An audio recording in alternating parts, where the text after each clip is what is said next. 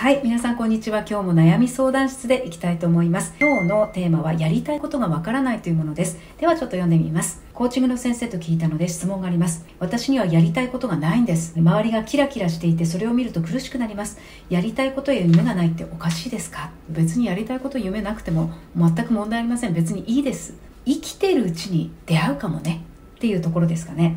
願いとか理想もそのうちやりたいこととか目標とか夢と呼ばれるようになります。そんな方におすすめなのはまずはやりたくないことを明確にしてみることです。例えば私やりたくないことっていうのは若い時に定時での出勤とかあとは電車に乗って行くとかあとは家事をやりたくないとかいろいろあったんですね。でそれを明確にしていくうちにだったら自分で会社を起こしてやればいいやということで今は2社の会社を経営しておりますしまたは家事に関しても全部はやらないでできる部分は家事代行の人にやってもらったりなどして自分の目標が見つかってやっていたという感じです。なので最初に別にやりたいことはなくてもいいんです。最初にやりたくないことを明確にすることでだんだんとやりたいことが明確になっていくかもしれません。参考になれば。ではまた。バイバイ。